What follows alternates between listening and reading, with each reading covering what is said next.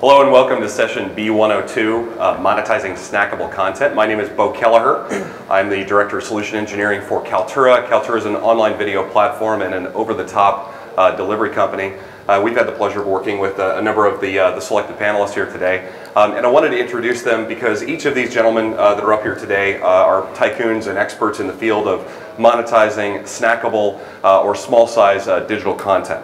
Um, to my left here, I have, I have Tyler. Uh, Tyler Peterson is the uh, Chief Operating Officer at Newsbeat Social. Newsbeat Social is an organization uh, that delivers content uh, uh, first and foremost to Facebook. Um, so they're, they're uh, delivering one minute content and being able to monetize that specifically on the Facebook platform. to his left is Robert Bardunias. Robert is, is a digital media executive with Iris TV, and Iris is in the business of uh, personalizing content delivery and discovering different ways to be able to help content find you. Um, to, Robert's left is Jim Spencer. Uh, Jim is the founder of Newsy. Uh, Newsy uh, was recently acquired, and I'll let Jim tell you a little bit about that. Uh, but Newsy has been in the business for quite a while of delivering snackable content. Uh, and uh, on the end of our panel here is Ray Adapa. Ray is the, the, the CEO and co-founder of Shandy Media. Uh, and Shandy Media uh, uh, operates sites like um, The Fumble and Hollywire, Hollyscoop, sorry.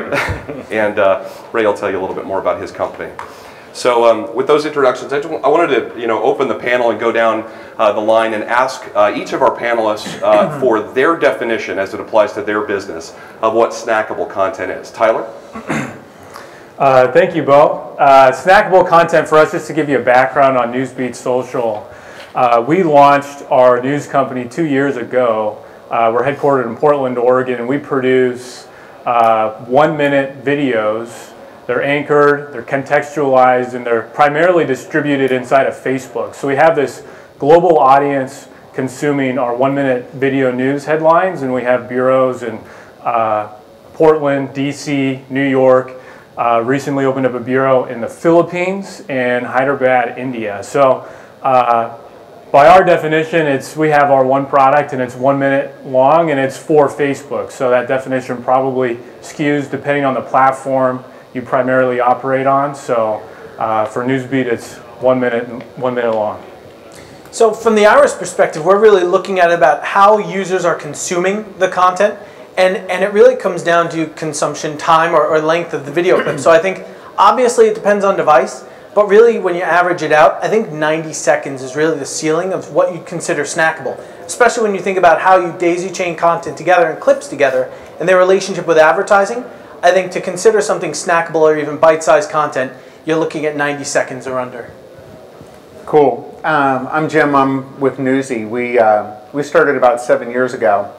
And uh, the length of our content has much to do with format uh, that we produce. We produce uh, what we call multi-source video news clips. We do our own research, write our own transcripts, have our own presenters, uh, have a pretty uh, rich and deep uh, distribution system uh, around the world.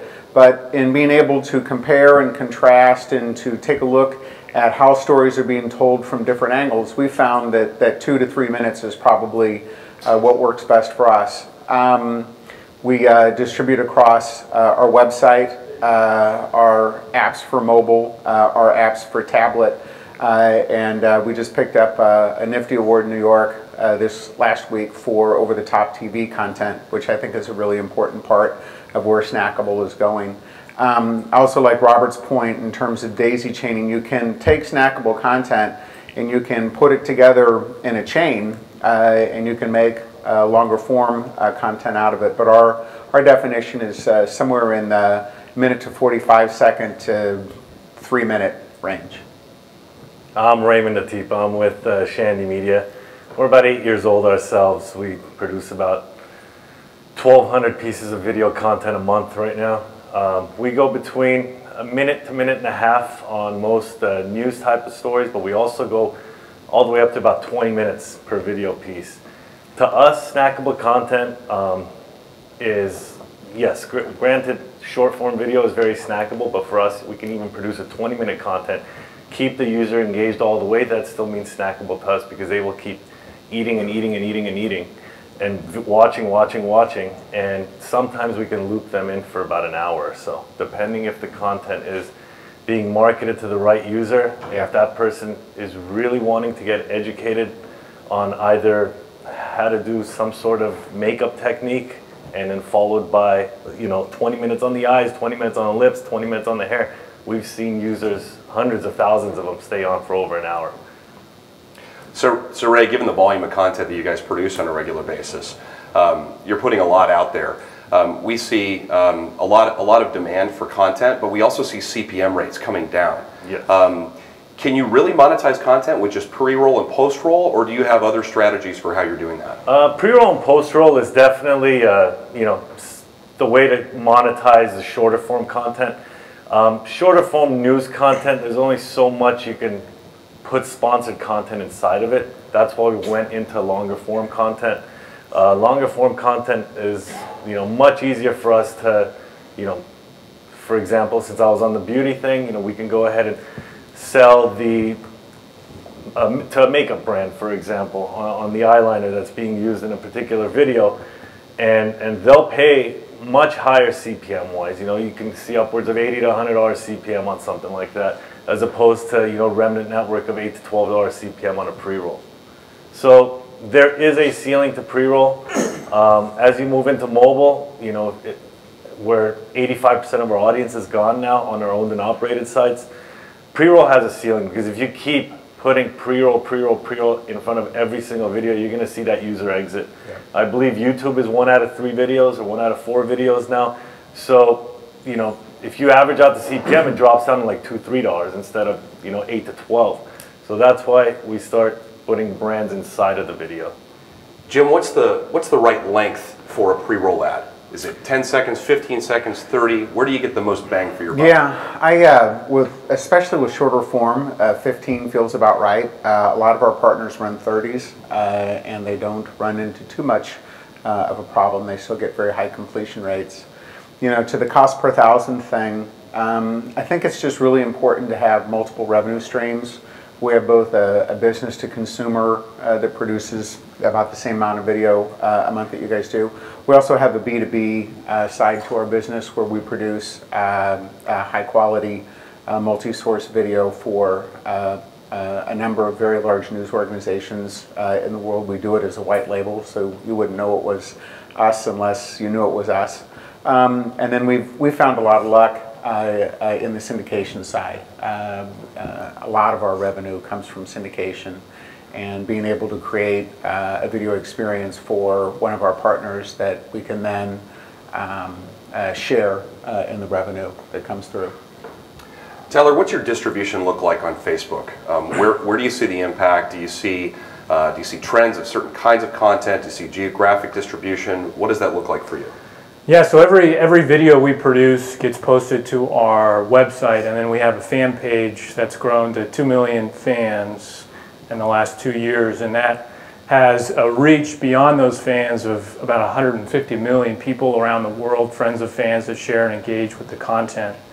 Uh, just dovetailing off of the pre and post roll discussion, we entered in into a very chaotic uh, marketplace for pre-roll advertising. It's very difficult for a new entrant to gain any sort of traction because the current model requires such a high volume of ad impressions and it's really uh, taken in the old uh, banner impression sort of model of, of advertising and we've really begun seeing a lot of traction selling inventory on a cost per view uh, basis. Because of the way we operate inside of Facebook, it's this sort of walled garden of human engagement, and you don't have the challenges of having to get such a high volume to offset the, the bots and the fraud that takes place inside these marketplaces. So we try to work with uh, agencies and brands to work at getting a 15 second pre-roll and in some cases uh, they'll get a post-roll on top of the 60 second news format. And believe it or not nobody seems to have complained about having to sit through an ad to get to the news. It's very much an accustomed way to get a news headline. Uh, and that's been going on for quite a, quite a while now. So distributing inside of facebook we we're able to reach uh, huge global audiences on top of sort of a single video headline. S- some brands will uh, play a video inside of Facebook, inside the, uh, the news feed. Right. Uh, other brands will use a thumbnail and actually uh, take the user outside the Facebook experience to a dedicated video landing page. Um, uh, what's working best for you, Tyler?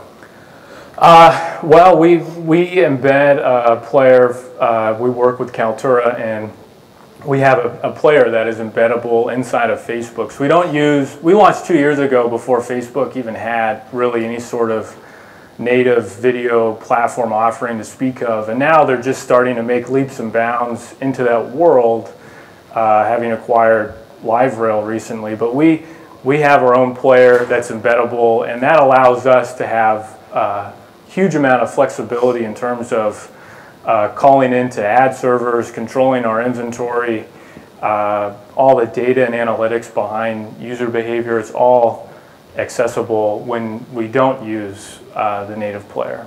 And, and, Jim, what about you? What about Newsy? We, um, uh, we post every one of our videos uh, to Facebook. Uh, it starts with a silent, muted autoplay. Um, we do that primarily because that is what uh, our close contacts at Facebook uh, have suggested uh, that we do. Facebook's getting ready to change, uh, as most folks have read in the last 24 or 48 hours with how they play video in their news feeds. And so we'll change and adjust with them uh, and try to be on the forefront of what they think um, works best for their users. Um, uh, I'm intrigued uh, by the platform. Uh, still trying to figure out how to monetize it um, a little bit more effectively as we're also trying to figure out how to monetize YouTube more rich, more much more richly and deeper uh, than, than what we're currently doing now. They're, they're two enormously important platforms. Ray, what are the challenges of uh, monetizing on Facebook for you? Monetizing on Facebook, I mean, fa Facebook for us is, uh, we don't look to monetize on Facebook necessarily, like you know, uh, Tyler's model. For us, it's how do we bring them over to us yeah. more and more. So sometimes we'll put a video up there. Sometimes it'll be some kind of a thumbnail or you know, like kind of almost like the reveal shot of the actual video, and then we'll lure them over to our own operated sites because that's where we make our profit. Um, especially especially on mobile because you know it's, it's it's getting tougher and tougher to monetize on mobile because of the auto uh, the autoplay restrictions on certain mobile devices, and um, we have a better we find it better for at least some of our brands to actually bring them over rather than trying to get a piece of video to go viral on Facebook. So, uh, Rob, uh, when, when, you're, when you're trying to drive content to a user, what are some of the inputs that you're using, um, and, and, and how, do you, um, how do you build kind of a, a very personalized uh, video viewing experience? You were talking about ad or uh, you know, kind of building uh, you know, a sequencing of videos. Yeah. How is that done? Yeah, so really from our perspective, the key was you know, making, making video publishing easier for, let's just say, using metadata and using you know, new tech that's out there to let content find the user and less about the user navigating through thumbnails and widgets to try and find the content piece that they're looking for. So for us, it's really about context. So you know, it's easy from a you know recommended video perspective to piece together a video stream to say these video assets are similar to each other, just put together a stream. The real trick or the real key to our technology has been able to, like like Tyler and, and like Ray have been suggesting, you know, really find where the user is consuming what content the best and really create for them a user experience in that in-video yeah. player experience where no matter where you're viewing it from, you have the ability to really lean back and consume a stream. So the, those inputs are really wide and varied and really comes down to what works for a certain user within a given session. So just because I'm consuming, let's just say, um, you know, soccer content, but I'm an American in one environment, statistically speaking, that might not be my main call. So you look at it historically, then you compare per session and say, oh, well, it was the World Cup. That's why I was consuming. But generally speaking, I'm a Cowboys fan. So show me more NFL content, uh, which seems apropos this morning. But I think really it comes down to creating that context and the contextual experience for a user which is where I think the monetization key is really going to pick up in the next couple of years. So, so brand protection is a key issue. Uh, when we talk about you know being able to put together kind of a personalized experience, um, you know a, a, a brand advertiser like an airline probably doesn't want their pre-roll running ahead of a plane crash. Yeah. How, how do you protect against that? I, I, I well, you think it, you, it's funny. There are so many articles of like these fails where it'll be. Uh, I think one of the worst one, one was a, an article on Huffington Post about alcoholism, and it was sponsored by Bacardi. And you're just like, oh no. and, and and I think that's one of the issues where we've all sacrificed a certain level of security on the syndication aspect. We've Yep. all said, look, we're, we want to make the most out of this content. We want the most people to see it. So let's just put it out there and see where it goes. Uh, but I think it's getting to a point now where we're being able to leverage context, leverage metadata, and leverage user data in a way where there's the balance between contextually targeting and privacy.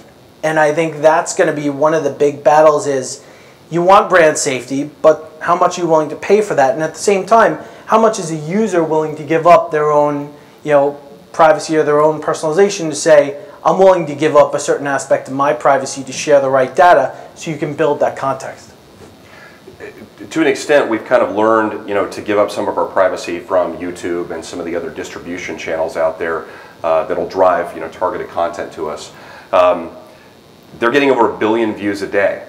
Um, to what extent does does YouTube actually play in uh, for you in distributing content?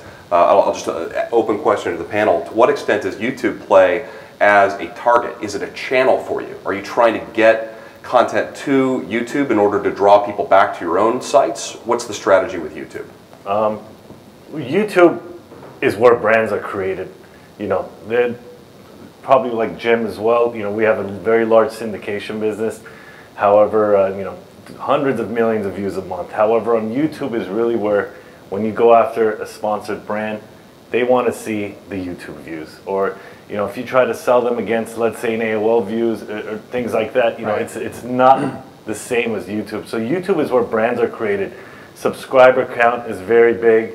You know, you can have 100 million views a, a month on YouTube, but if your subscriber count is extremely low and you don't have an engaging audience and you're strictly like an SEO on YouTube, brands don't buy into that. Brands want to buy those extremely strong audience members. Um, you know, the highly engageable audience, which lives on YouTube. Now, YouTube is its own animal, very different than everything else. And even if you try to lure your audience away from YouTube, it dings your channel. You know, it, it- they want people as long as they, they want people living on it for 48 hours straight, or else your channel gets dropped down and it gets dropped down. So it's kind of like its own animal. We treat YouTube as its own business, completely separate from syndication. Interesting, interesting. So, so uh, Robert, you know, when we talk about personalizing content, how do we how do we avoid losing people to that dark corner of YouTube where only cat videos and uh, horrific accidents happen? Well, it, it's funny. I, I think we were joking about, it, but I, I have a two-year-old daughter where you know she'll want to watch little pieces, and undoubtedly will go to YouTube. And after about five minutes, you'll always get to a cat video or some kind of you know eight-year-old boy hitting a baseball that hits his dad. And and it's one of those things where it's it's like the last call of internet consumption. It's like wrap it up, five minutes. We've made the most money off of you that we can. Time to shift you to another category of content, um, which seems to be that model there. But it becomes a, a a lesson for you know the rest of us in, in what we're all considering premium to say what is the, the session value of a user. And I think from our perspective, you know, we've created a lot of privacy around a user's data and, and everything is anonymized in, in our technology, but it still comes down to figuring out what an average or, or what the consumption average is and figuring out the ROI per session. I think that's essentially what we're getting back to to say what lessons can we take from that dark corner because it still is a closed ecosystem for the most for the most part where it's got to be its own business because there's no really way to attach into that without hurting it hurting your exposure in that ecosystem. So it's trying to learn lessons and really use that information to develop your own premium experience. This morning in the keynote, um, uh, one of the shocking statistics that I saw was that um, tablet consumption of NFL Now's content was only 7%. Um, uh, where does the tablet fit in terms of the viewer experience for snackable content, Jim? Well, you know, I think it's it's really important to remember that one of the unique things about video is is that it works on every one of the four screens. So it works on this screen. Um, it works on uh, Robert's uh, iPad mini um, that he has here, which I consider tablets different than, than uh, handheld devices. Uh, it works on PCs or notebooks. Uh, and it works uh, on the big screen. And it's interesting, you, know, you were talking about some of the challenges that you've seen people run into with mobile. We were one of the first video news uh, apps on the iPad, and it was really great because it wasn't a uh, enormously I don't want to say cluttered, but you know now there's like tens of thousands of apps uh, out there uh, in that space. So you know I don't know about NFL's uh, uh, consumption. Perhaps they're not pushing their tablet as much as as they should, or perhaps they're not creating content that people are finding valuable um, on their tablet. But the key is is to be able to produce a not a generic, but a really relevant, meaningful, short, informative, value-added video because it's a commitment for the user to watch a video that just works well uh, on all four of the platforms, whether you chain them together uh, in an OTT environment for a longer form experience, uh, or if it's just uh, uh, a short hit uh, at the bus stop on your phone. Are you seeing different rates for advertisers on different platforms? And if so, how does that direct where you put the emphasis in deploying content?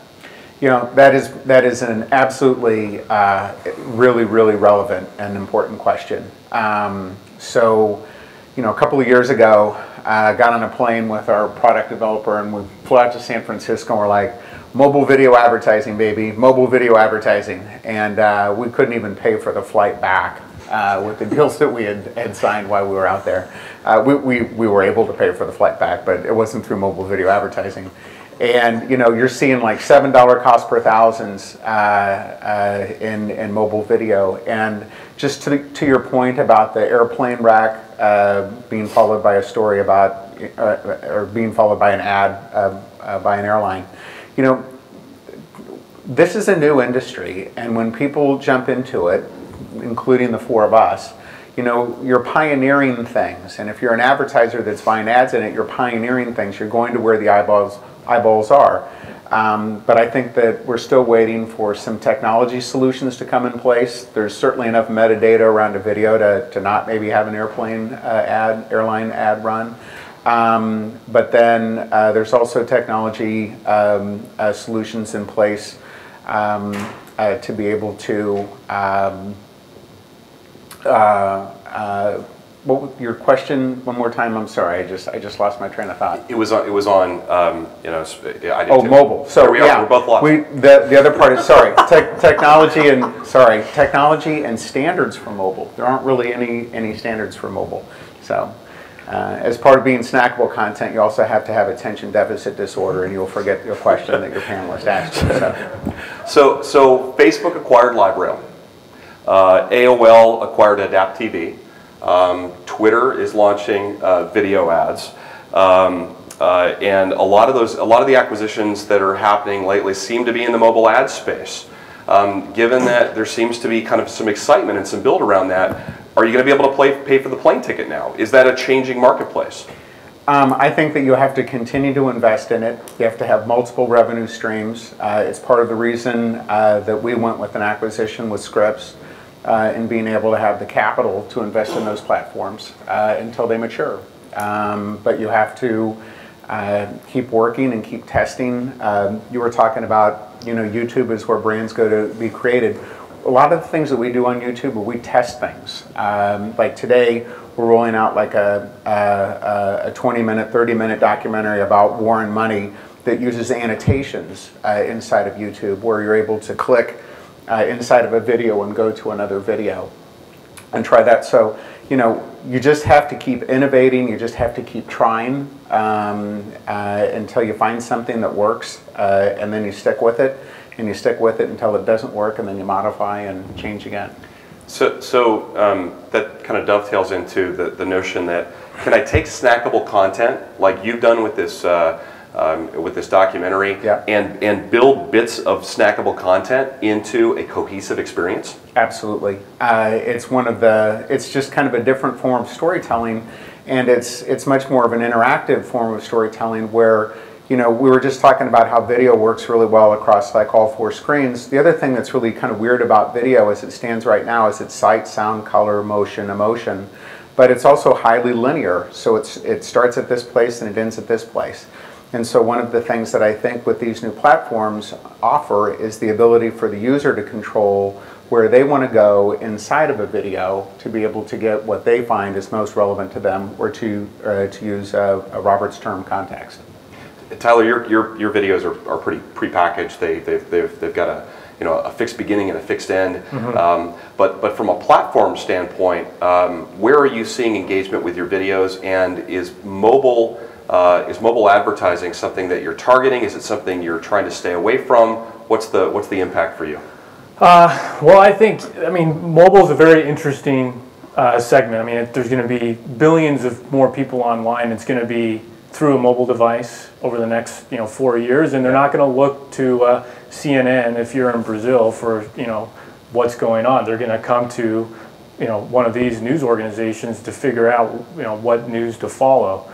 We use Facebook as our primary distribution, and their mobile user base is growing, so our mobile user base is growing. So, uh, you know, we don't have an app. We have a mobile version of the website. I think there's a lot of challenges with mobile still because there is no standard. There is a lot of fragmentation. When you look at playback for video on mobile devices is a lot more fragmented than playback when you're plugged in to even a Wi-Fi connection on a desktop device, um, which, which is very limiting to when you look at the performance around advertising. I think when I've spoken to uh, contacts that are part of those big marketplaces that just you know got acquired like LiveRail or DAP TV, the demand for mobile is growing, but it still does not meet yeah. the 30 second demand out there. I think there's still a big shift that needs to happen where uh,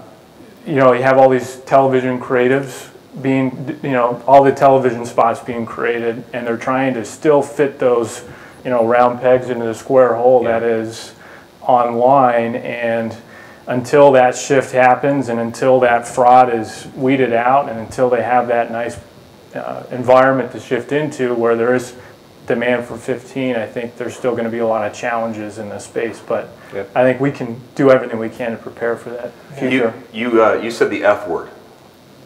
Facebook? Fragmentation. Everybody looks at each other really worried. Oh, really? It's on video. Did I say that? You said the F word, fragmentation. Uh, it's probably one of the you know the banes of our existence. Uh, you know, um, how are how are you dealing with fragmentation? Do you need to have a mobile app, Ray? Um, well, mobile app will definitely give you higher CPMS than a mobile web web presence because to, to us the more data you give to an advertiser, the more they're willing to pay. And you're able to give them a lot more data through an app than just uh, on the restrictions that a phone is giving you on you know, third-party cookies and, and, mobile web pages. Um, we've seen a you know, huge jump in mobile over the last three years. We went from 30% mobile audience to 85% mobile audience. Wow. And uh, as these phones become bigger and bigger, we even saw that uh, of another 10% increase, which we went from 75 to 85 as the 6 came out. Um, so, you know, as far as, you know, fragmenting content goes, you know, you, you're going to have to be able to, you know, show your content everywhere which is possible these days. You know, we're even starting to play around with over the top right now. Um, you know, obviously longer form content there. The larger the screen, the more attention you have from the user smaller the screen, you know, they're looking to look and leave. So, so with uh, with over the top, um, Tyler, you mentioned that people are, are sourcing their news, um, you know, more from you know kind of smaller, more targeted news agencies than they are even from CNN these days. Um, do, you, do you see that? Um, do you see that going OTT and actually being able to deliver a living room type experience for somebody who's seeking that type of CNN level uh, of content? Is that is that something that's in your future? Is that uh, is that on your on your horizon? Uh, yeah, I mean, I think it'd be pretty short-sighted for us to only do one-minute video news inside of Facebook, which is what we do now. I think as we grow our audience and create a brand online, there'll be natural extensions to that product offering.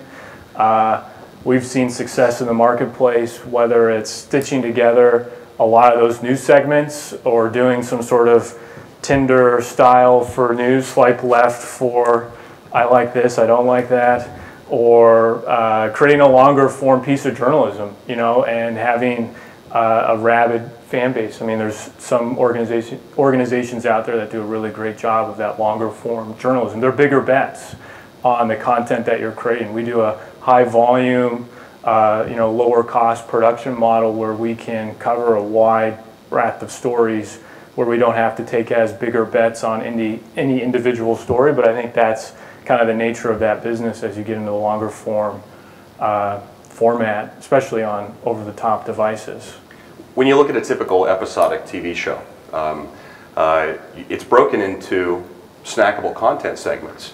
You know, you watch the first three and a half minutes, you get, you know, you get the intro, and then you get an ad, and then you watch another, you know, four to five minutes, and then you have another ad. How is that any different from snackable content? Is, is there a difference, and are we getting people moving in the direction of kind of consuming snackable content that way? I think this is going to be the year that we find out. Uh, we uh, are investing heavily uh, in OTT, and you know the idea of running um, for us, uh, you know, a two to three minute clip, which is about how long it takes for us to be able to effectively tell our, tell the story um, you know, maybe running two of those and then uh, an ad and then maybe two more. Because it comes off uh, on OTT, it comes off much more as a television commercial. You wouldn't call it a pre-roll. You wouldn't call it a post-roll. It's just a TV ad uh, that, that's there. And um, we're finding with Snackable, uh, uh, the kinds of pieces that we produce, there's a high use of autoplay. So like in, on our website, uh, which we're going to autoplay enable uh, in the first quarter of this next year. Uh, if they watch like two videos there, they'll watch like maybe four videos or something like that on, on one of our, our apps or our mobile web. Uh, but they'll watch like eight videos on OTT. Uh, the engagement levels are a lot higher. Um, I think that this is a format that I really believe uh, that I don't sound like the guy on the plane saying mobile video advertising, mobile video advertising, but we're gonna we're gonna say OTT this year uh, in a major way uh, and and see if it works. And and I think I think that it's I think that it's going to. I think that viewers have that expectation that there has to be some type of, of monetization that occurs uh, and.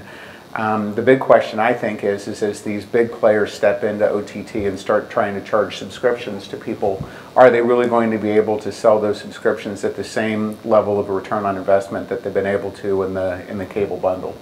In um, uh, in your world, do you ever see us coming to a place where you can string together enough snackable content that it just becomes a linear channel?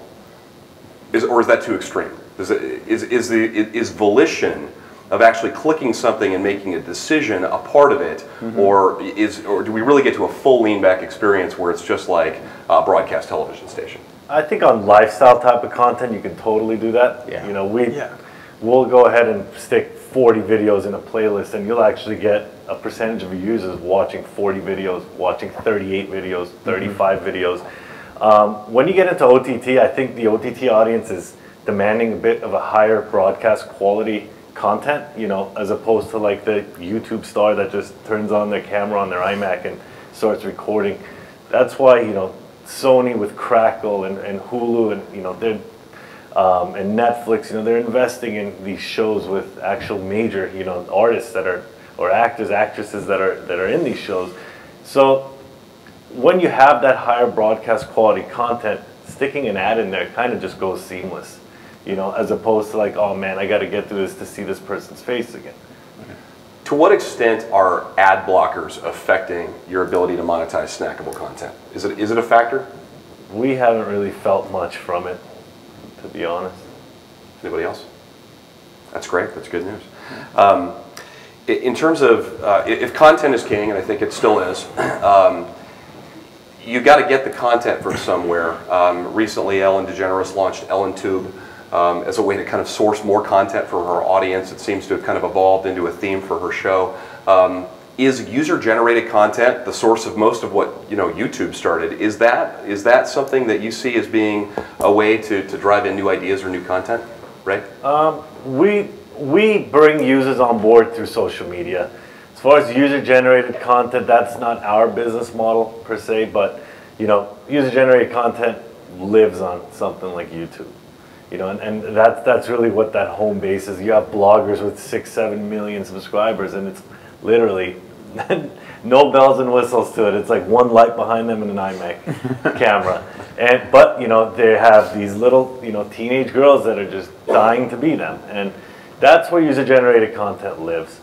Um, for us, you know, we produce everything all the way up to a 15-minute talk show once a week that that streams online, and we'll go ahead and get you know we have between all our accounts on Instagram, for example, we have several million followers, and we'll go ahead and have contests for them to even be on a panel, things like that. So for us, it's more of a social engagement than user generation.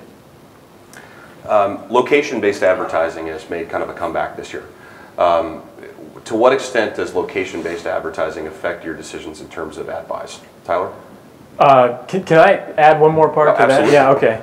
Uh, in terms of user-generated content, I think it's there's a really unique opportunity right now where uh, sometimes in a news outlet, the first source of a story will be uploaded via Facebook or Twitter, and Yep. will be, uh, and you can cross-reference that with other sources, and in some cases beat, you know, other major news organizations to break a story, and access to that sort of content, uh, you know, you can track the shares and see what sort of engagement the snowball is sort of created, and accessing those folks has never been easier. I mean, you can click on their profile and direct message them, or you know, there's so many ways to get in touch with these folks in terms of a journalistic perspective. Yeah. Uh, access to those folks has never been better. So I think it's, um, you know, citizen journalism is dead, but I think there's sort of that middle ground of, you know, there's interesting stories happening out there in the world and they're being posted on the social media and they're going to be interesting to other folks. And we have you know uh, you know data folks that are tied into our newsroom that help gauge some of that editorial in, in a way. Uh, location-based advertising is interesting. Uh, we don't get too uh, granular with location but certainly uh, geographies and things like that is very interesting. Uh, you can tie in, you need an app to really tie in the capabilities of location on a mobile device, but uh, we haven't seen a huge demand other than geog- you know, the, the obvious geographies for location-based advertising. We, uh, we talked earlier, and you mentioned that uh, a lot of your audience uh, is outside the United States because Newsbeat Social has become one of the primary ways that they can consume content through Facebook. Can you talk a little bit about um, the international audience and how you monetize them? Yeah, I mean it's it's really, I mean pretty wild to witness it firsthand. We have we have we track every story we post. We see how many likes, comments, shares, and track the engagement on every every story. And we'll have, you know, just the other day we had a story about uh, World War II ship being discovered off the East Coast somewhere. This guy, he's got to be like 92 years old, was on, in the comment thread on Facebook commenting, you know, that he's seen subs off the coast of Maine, you know, and then people are chiming in from the Philippines and Pakistan, and some some guys, trolls are getting in there trying to attack the old guy, and then guy from Pakistan is defending him, and it's like this whole conversation is happening on this one uh, one minute news segment. So we have a really uh, global audience where people not only watch the stories but interact with each other, which I think is very cool. Uh, in terms of monetizing them, it's uh, uh, you know we we work directly with networks and brands and agencies. So when uh, you know a global brand needs to access their audience across half the world, we can launch a story and have global viewers overnight watching that story and watching their advertisement. Do you see any uh, emerging markets for your type of content? Any any key areas that really stand out in your mind? Uh, India's India's probably they're, they're, the second largest country on Facebook. They have 100 million users, uh, second to to the U.S., which is about 180. and you know by far they have a much larger population. And we launched a, a, a backpack reporter there and have started getting huge uh, followings in India. I think the Philippines is also interesting too. Uh, Facebook is really through their internet.org efforts trying to push a lot more folks online, and we're seeing that firsthand through our viewership around the world. Jim, do you have uh, um, uh, content consumption in international markets? Yeah, it's it's kind of wild to get your app reports and find out that like you're really huge in like Iberia, you know what I mean, or, or, or some faraway place. One of the things that that we're doing, uh, kind of similar to um, what Tyler has mentioned, is uh, we've tried like three times now to roll out uh, inter internationalization of our product. What does that mean? That means multiple languages. Um, and so uh, I'm happy to report we've got a deal uh, for us to uh, do uh, stories in Spanish for a, for a big provider that we just recently closed. Uh, and that's really cool. We tried, we tried Mandarin for a long time, working with the Wall Street Journal and News Corp and others, and, and had a, a really fantastic producer and, and presenter for that. Um, so it's kind of like back to the theme that I've been saying about you just keep trying stuff uh, until um, you, you see what works. You kind of you go in with your best ideas, uh, uh, the best answer that you can come up with at the time, um, uh, and then give it a shot. So I'm really really hopeful for the for the multiple languages uh, with our product. It's part of our process that works out well. And, and, Ray, uh, you know, Hollyscoop, uh, Kim Kardashian is worldwide. Mm -hmm. I'm sure you get a lot of international traffic. How do you monetize that? Uh, well, we monetize, you know, the best for us is the English-speaking countries where English is primary, like the Australia, UK, and um, even, you know, countries like India, you know, lower CPM for us. UK, Australia, much higher international CPM. Um, Japan, higher CPM, you know. Um, it really also depends about you know the people in, in each of these locations. But you know Kim Kardashian story, for example, you'll be surprised. You know like there's certain aspects of that story that certain international um, countries would would enjoy watching enjoy hearing about.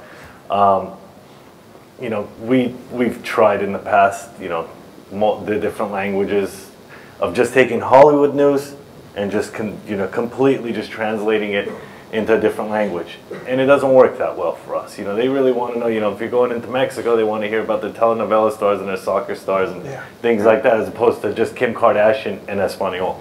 You right. know, so we've we've tested some of that stuff out, and uh, you know, it's the the younger audiences of these countries that consume that our content at least. And you know, CPMS are not where the US CPMS are. You know, US CPMS are number one still, and uh, yeah. that's that's why we keep pushing good old America here. and, and, and, Rob, uh, you know, from an international perspective, um, are you picking up on those trends? Are you seeing, you know, uh, folks coming in, in, in localized markets, and are you able to direct uh, content to them that may be germane, um, or is it still going to be, you know, uh, are you able to you know direct them towards telenovela stars or you know soccer stars or what have you? Yeah, I, th I think it, it becomes a question where it combines multiple parts of the equation that we've been talking about with respect to syndication with respect to getting the context and then melding that with whatever metadata or data that you have on the user and the content piece where you know internationally uh, unarguably the CPMs are lower but when you have the ability to syndicate content from a provider that's giving you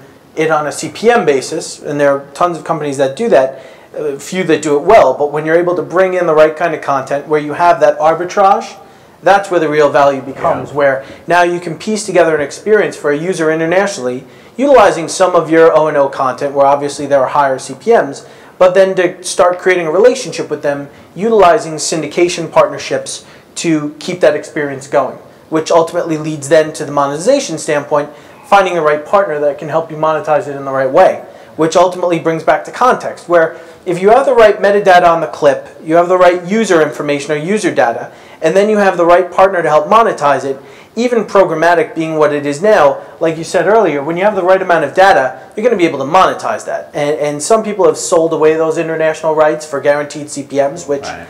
Tip of the hat if, if, that, if that's the way to go. But I mean, it's, it becomes less responsive and more saying international users will just pay for them with a flat fee this way. And that becomes a little dismissive when it comes to the international consumption and distribution of content, which I think we're all going to have to start admitting that, you know, the international consumption side, there's got to be a better solution for American brands and, and who are trying to view ourselves as, as really you know, catering to international users, it's got to be better than Kim Kardashian in Spanish. Absolutely. Please say it's better than Kim Kardashian in Spanish. So, I don't know what is Kim Kardashian in Spanish. uh, it's I- I it's not pretty. So, so, so in terms of uh, in terms of being able to um, being able to target that target that content and monetize, monetize um, uh, uh, you know, being able to uniquely you know find that. Um, Tyler, for you, when when are you um, when are you seeing um, that really begin to break over uh, in terms of the international market, where you actually have targeted international content? Uh, I think that's driven by the consumption. So, you know, uh, any number of one of our stories will more than likely do well globally. Uh, a lot of stories, having a, a reporter in India, she works on her own in India and is able to have a finger on her pulse in that region and really cover that area well. So it becomes a little more localized, and at the same time, they're going to be following what we cover here in the U.S. Uh, I mean, I- think any one of our stories has, you know, it sort of has to pass this. You know, we produce 50 uh, one-minute videos a day, uh, over you know 1,100 to 1,200 a month, and they all sort of have to pass this test of whether or not it's going to be appealing to this global viewer of news. And I think as we grow our volume over time, we'll develop out more niche channels that will help uh, define growth in these markets. So we may have an India tech beat, for example, versus uh, you know a U.S. centric one. Let's talk about um, ad ops and uh, in terms of ad sales. Um, are you going after premium brands and offering them uh, packages? Ray, you've got you know kind of a dedicated video landing page strategy. Um, you know, are you selling takeovers? Are you selling companion ads? And how's that working for you? Um, sales team wise, um, my personal thoughts is, you know, everything's going to go programmatic except for branded entertainment and and high level sponsorships. You know, trying to compete against a Tremor or a BrightRoll or you know even LiveRail Marketplace, you know, to sell Coca-Cola half a million pre-roll impressions. You know, it's I don't think that's going to exist much longer because people are only going to buy programmatically on things like that, and they're going to buy audiences. So the more data you can give them, you know, the higher you can drive those CPMS up for that Coca-Cola user who they want to make sure that their user drinks Aquafina, for example. You know, if you can give that back to them, they're willing to pay twice that amount. So for us, we sell branded. You know, that's what we sell directly. So you know, Coca-Cola wants to reach this audience, we'll create a 12-part series for them and include the brand inside of this series and, and really craft the series even as far as going and, you know, wrangling the celebrity into the video for them. Um, so, you know, that's, that, that, that's what I think the direct sales efforts are, are definitely going to go towards, at least from our perspective. Jim, what about you? Are you seeing a, are, are you seeing a, um, a benefit to going to do, do direct sales, or are you relying on programmatic? Um, both. Uh, we also do product placement for Coke. Um, kidding. Uh, and uh, uh, but but we're doing both. Uh, we're going for high level sponsorships. The stuff that we produce is is of uh, very high quality. Uh, it attracts a, a high end user. So. Um, we're, we're moving forward both with uh, uh, our own sales team uh, as well as a ton of stuff uh, in programmatic. And then also really huge, as you had mentioned, really large sponsorships, the kinds of sponsorships where someone can come in and buy a very significant uh, portion of your inventory um, uh, in, a, in a really thoughtful, packaged way. How does product placement work in news? It doesn't if you're ethical. uh, we, we don't do branded content. We don't do, I'm kidding, we don't do product placement. Uh, we're across the street from the journalism school at the University of Missouri uh, where ethics are, are very, very run high uh, as they do in our newsroom. But uh, you know, there are some companies that are well suited uh, for branded content, and that doesn't mean that we wouldn't produce a branded content piece for another company, another news organization. I just don't see us doing that within ourselves uh, under the Newsy brand. Awesome. Um, we, uh, we have about 10 minutes, 10 minutes left, and I, w- I asked the panelists uh, earlier if they'd be willing to take questions from the audience, so I wanted to open it up to, uh, to the floor. Um, do you have questions about monetizing content for any of these tycoons of snackable content? Anybody? Any- yes, Somebody, in the there back. you go. Yeah, mine's kind of in the monetization, but when I think of snackable, it seems like it's mostly consumed through the mobile device. This question's for, for Robert. In order to monetize it, you need to have eyeballs staying on the content.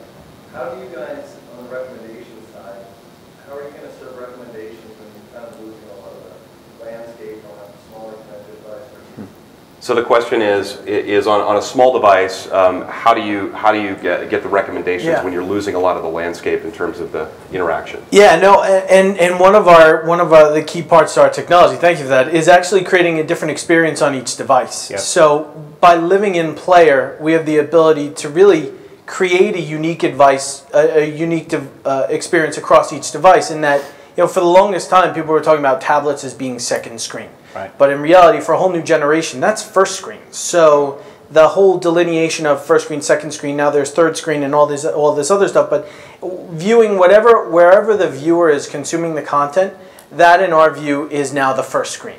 So by making it a unique experience, to your original point, in that if you have, you know, uh, advertorial based or native advertising and content pieces, now with Iris you have the ability to prioritize prioritize that native advertising piece or, or that sponsored content above others. So you have the ability to prioritize an ebb and flow with monetization.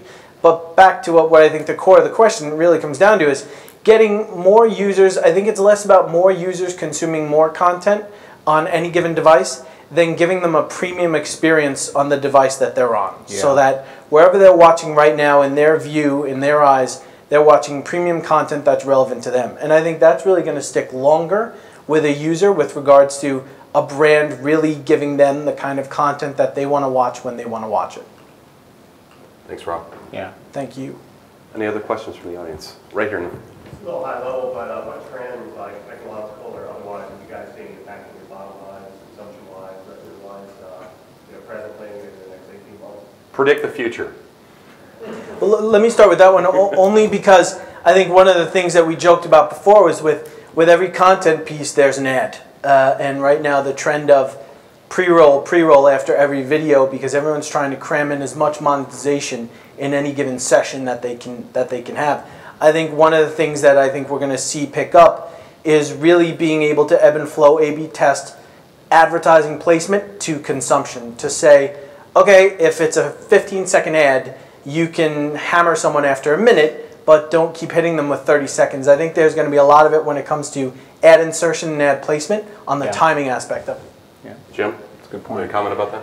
Um, you know, I think technology is just going to continue to march on, make uh, experiences greater. The the faster the phone, the faster the video, uh, all of the, the basic technology trends that uh, uh, that we've talked about, as well as you know the brand protection thing that we were discussing before. I think probably one of the biggest things that you're going to see in the next 12 to 18 months is, is I think you're going to see a pretty big sea change. Uh, you've already seen uh, quite a bit of consolidation this last year, a lot of uh, M&A activity happening, and I think you're going to see a lot more of that happen in the next 12 to 18 months, where um, uh, there's a lot of uh, a whole lot of players uh, in the space, and I really hope that that continues. Um, but it could be consolidation in terms of them being bought up uh, by larger companies. Uh, it could be consolidation by uh, uh, some companies uh, taking different kinds of exits or, or maybe running out of money. Um, but there's been a whole bunch of money uh, thrown into this industry in the last 12 to 18 months. And it's going to be really interesting to see what happens 12 to 18 months from now from, from that perspective. Ray, without giving away any trade secrets, what are you going to be doing in the next 12 to 18 months that, uh, you know, that, that's, that's taking advantage of new trends? Uh, 12 to 18 months, I think. Uh, hmm. We're we're we're going to be focusing more on more uh, even more premium content, um, content that you won't be living at, you know, too many other places. We're even looking at bringing back some of this premium content and exclusively having it live on our owned and operated sites as opposed to just letting it syndicate and making pennies on the dollar as opposed to really building a premium base. You know, we right now have quite a bit of audience on our owned and operated sites. But uh, for us, that's, that's the plan of action is Yeah. More users that can live on our sites and view content exclusively on our sites, you know, our, our company becomes much more valuable. So attraction more than distribution is where you're going to be able to monetize. Yeah. Interesting. Tyler, what about you? What do you think about the future? Uh, specific to this conversation? yes, yeah. It'll be interesting to see what happens to the legacy news folks. Uh, I mean, the Wall Street Journal, I read in the, you know, a couple weeks back that CNN will probably get dropped by Dish Network and a lot of these uh, big news organizations that have been supported through, you know, sub fees by their cable distributors are needing to reinvent their models. And, you know, CBS News is coming out with an app, CNN has an app, everyone's got their app to play in. And I think, truth be told, they're going to have a very difficult time attracting that new viewer that they lost on television, and it'll be interesting to see what sort of shifts that causes in the industry. We're certainly hoping and betting on that, you know, that viewer will come to us to get some of their news headlines, and I think it's sort of this ecosystem where everybody's going to contribute somehow, but it, it's not going to be through the sort of legacy model in television. I agree with Tyler. I think one of the things that happens is no matter how hard you fight it, expenses rise to meet revenues. And the ability to monetize it mobile at $7 cost per thousand versus what you're able to do um, through a cable bundle of affiliate fees plus advertising. Um, it'll be real interesting to see if, uh, if, if folks can, keep, can compete uh, uh, in, in that type of economic environment. Does unbundling like HBO and CBS going uh, over the top and direct to consumer benefit um, the snackable content world? You know, uh, that's an excellent question, and you know, uh, it waits to be seen. Um, uh, I think that uh, some of the big players that are stepping into OT are finding that uh, from a strategic standpoint, it gives them some type of, of leverage in negotiations with regards to retransmission consent uh, fees or, or bundling fees that they get, uh, affiliate fees that they get uh, from cable systems. And the real question that, that, that will be interesting to watch happen in the next 12 to 18 months is, are they able to monetize those services near the same levels that they are able to in their legacy systems?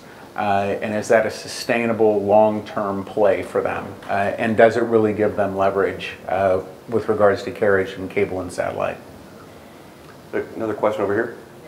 Ed, you talked about different forms of monetization. What is your top form of monetization? Right? Syndication? Sponsored content, it's got. Sponsored content, uh, CPM-wise sponsored content.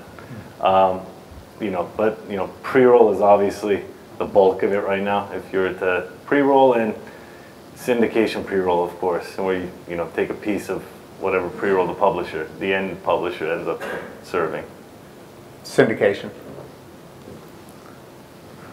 Uh, pre-roll for us, we're, I mean, the way we operate inside of Facebook, we're able to, out of any given headline, pull out very specific audiences for advertisers and really provide them a premium pre-roll product, and in some cases, uh, post-roll, because, you know, 80, 85% of our audience will finish the entire, you know, one-minute news segment, so there's opportunity on the back end as well. Thanks, Tyler. I'd like to thank our uh, members of the panel uh, for coming today and for sharing uh, their, their knowledge of this industry. Um, And gentlemen, um, thanks for joining me here today. Appreciate it. Thank you. Thank you. Thank you. Thank you.